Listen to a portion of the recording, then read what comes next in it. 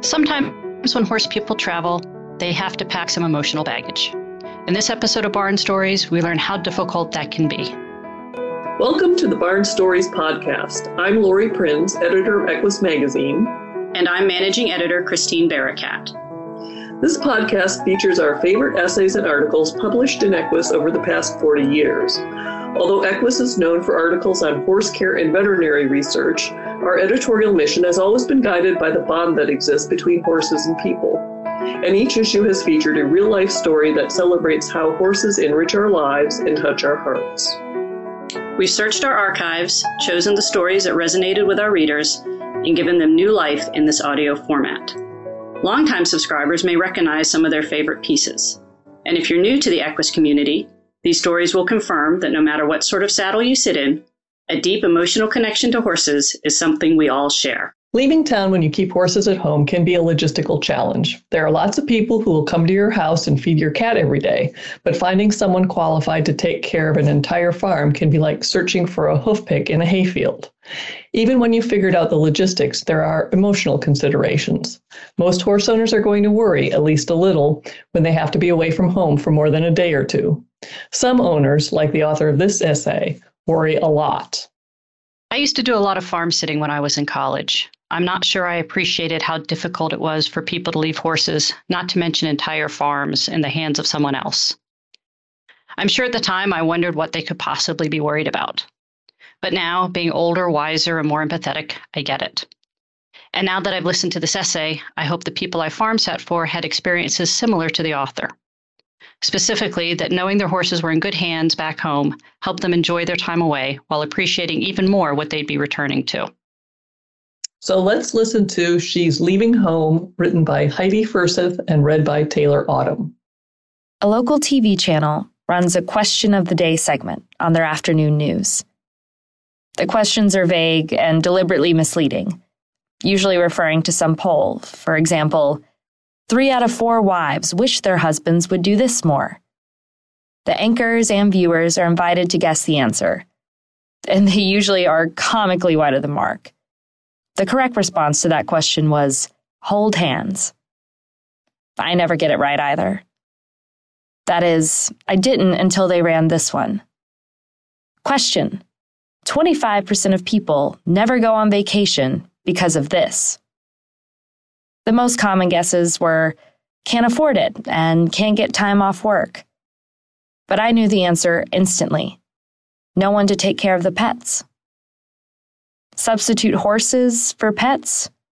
For me, they're synonymous. And you get a picture of my life. I never go on vacations. Oh, I take time off from my paying job as often as I can, but my vacations are staycations, filled with chores like fixing fences and putting up hay. The feed store is about as far from home as I get. I'm not complaining.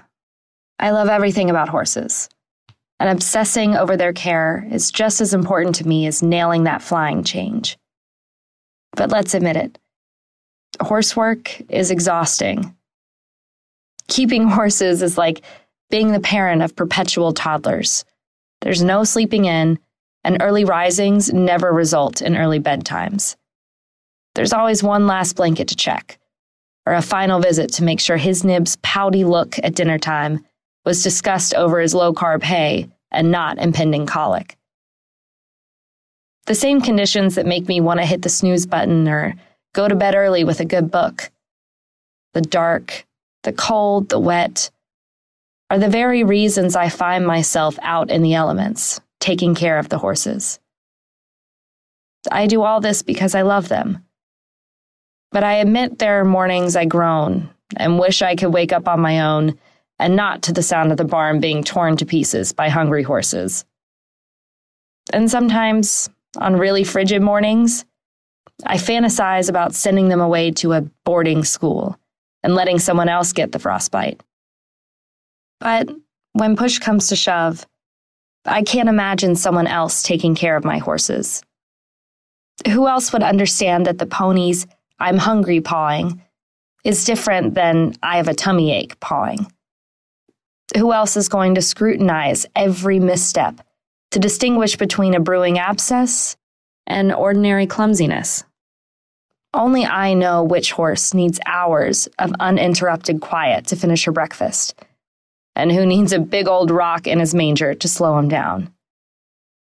To me, to be a horseman is to be a professional warrior, and I am very good at it. The sound of a whinny tumbles me out of bed. This, of course, caused some problems when his nibs took to neighing at midnight just for the entertainment of watching me run outside in my nightgown. I've been known to leave work to pull blankets on an unexpectedly sunny day, or throw on sheets when a squall blows through. Now, who else is going to do that? No, I had pretty much convinced myself that no one else could take care of my horses. Going away on holiday was out of the question. What finally forced me to leave home wasn't a vacation, but a new job, or more specifically, new job training. Three weeks, clear across the country. Knowing I would have to be away from home for 21 days caused some serious second thoughts.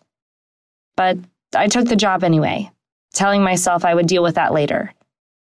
And then, suddenly, the time came. Today's episode is brought to you by Enjoy Yums Horse and Dog Treats, manufactured by Jacks. Enjoy Yums treats come in three flavors apple, carrot, and mint. They are made right here in the US of A and consist of only six natural human grade ingredients. Being veterinarian inspired, Enjoy Yums do not contain any wheat, soy, corn, or added sugar. Enjoy Yums horse and dog treats are safe for all animals, goats and sheep included. It's what's inside the bag that counts. Choose Enjoy Yums horse and dog treats to keep your pets happy and healthy. I panicked. Who was I going to get to take care of my horses? It's no problem to have a friend stop by and feed the cat and play a little laser tag, or send the dog to a sibling's house for an extended playdate with her cousins. But horses are a different story. Three weeks of that kind of hard, exacting work was too big a favor to ask even the best of friends. I had a few offers, but one person's idea of care was to throw hay over the fence once a day.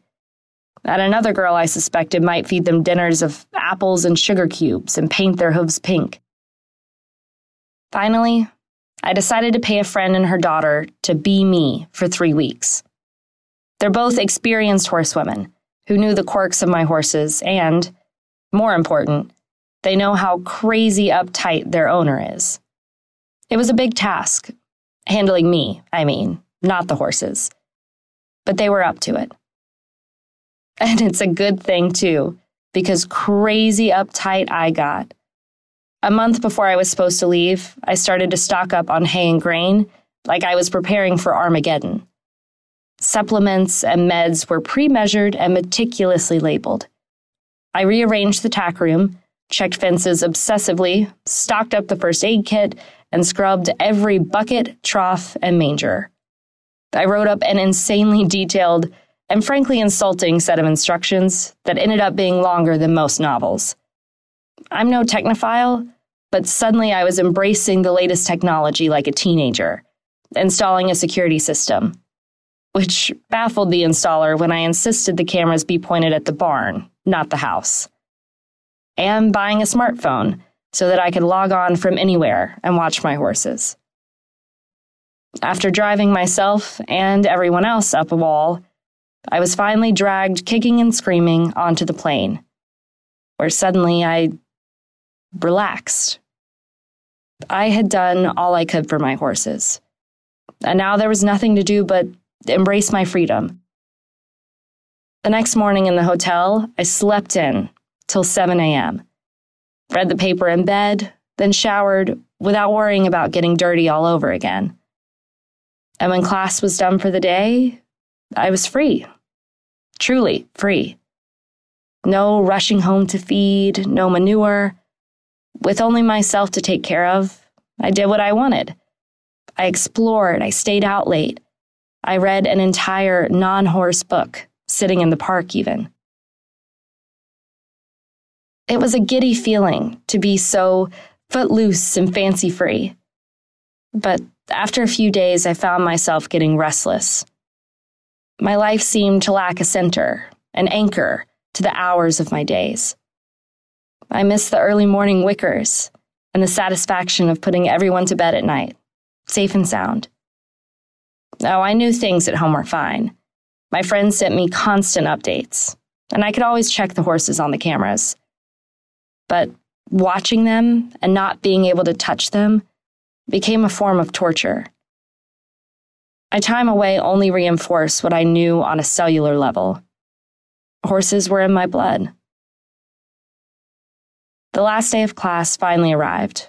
My head was so full of thoughts of home, it's a minor miracle I passed my final exam. The return flight seemed to take forever, and when I finally pulled into my driveway, it was past midnight and pouring rain. But still in my suit and high heels, I rushed out to see the horses. I wish I could say they were overjoyed to see me, but alas, they seemed more interested in the prospect of getting a midnight snack. His nibs did present his butt to be scratched, but other than that, it was business as usual. Listening to them munch their hay, I realized that the separation had been traumatic only for me, and I wouldn't want it any other way. Since coming home, I find that horsework doesn't feel like such a burden anymore. Now, when the alarm goes off in the morning, I don't groan quite so loud, and I find myself lingering a little longer in the barn, just to listen to the horses eat. I won't go so far as to say that I suddenly find picking manure to be a privilege, but there is something about the endless poop parade that centers me, the very inevitability of it, giving me a sense of stability the rest of the world sorely lacks. The weather turns crazy. The stock market is wilder than a two year old on a windy day. Jobs come and go and go again. But my horses are always there. Hungry, pooping, waiting for a scratch.